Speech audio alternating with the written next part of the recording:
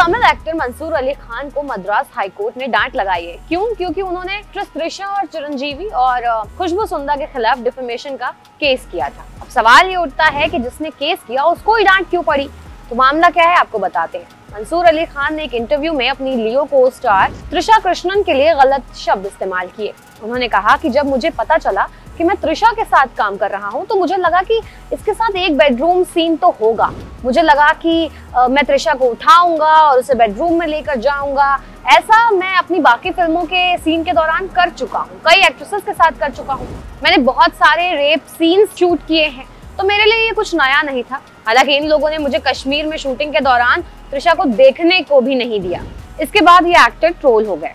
South Indian artist association ने 19 अक्टूबर को कृष्णन के खिलाफ टिप्पणी के लिए अभिनेता मंसूर अली खान की कड़ी निंदा की और उन्हें पब्लिकली माफ़ी मांगने के लिए कहा। इसके अलावा राष्ट्रीय महिला आयोग की शिकायत के बाद thousand lights all women police ने खान के खिलाफ एफआईआर दर्ज की। त्रिशा भी सामने आई। उन्होंने विरोध किया सोशल मीडिया पर पोस्ट किया। खान ने कहा कि वो माफ़ी नहीं मांगेंगे। हालाँकि ट्रोलिंग के बाद उन्होंने सोशल मीडिया के ज़रिए से माफ़ी मांग ली।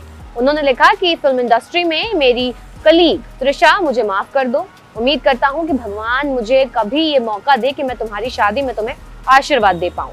एफआईआर दर्ज होने के बाद पूछताछ के लिए पुलिस के सामने जब वो पेश हुए, तब भी उन्होंने कहा कि जब उन्हें पता चला कि त्रिशा उनकी टिप्पणी से दुखी हैं तो उन्होंने पुलिस अधिकारी के सामने खेद व्यक्त किया।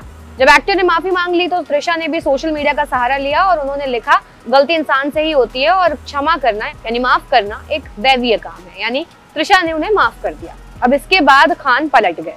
खान ने क्या किया कि वो हाईकोर्ट गए। त्रिशा, चिरंजीवी और खुशबू के खिलाफ मानहानि का केस दर्ज किया और तीनों से एक एक करोड़ रुपए की मांग की, जिसके बाद मद्रास हाईकोर्ट ने उन्हें कायदे से डांटा। जस्टिस एन सतीश कुमार ने कहा कि त्रिशा के बजाय मंसूर क्यों आए मानहानि का मुकदमा दर्ज कराने? कायदे से तो त्रिशा को आना चाहिए।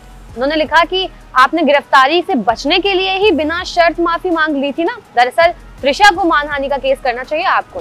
इसके बाद अदालत ने वकील से अनुरोध किया कि उन्हें सलाह दी कि सार्वजनिक रूप से ये ज़िम्मेदारी का कार्य कैसे निभाया जाता है, ये बात जरा मंसूर को समझाइए।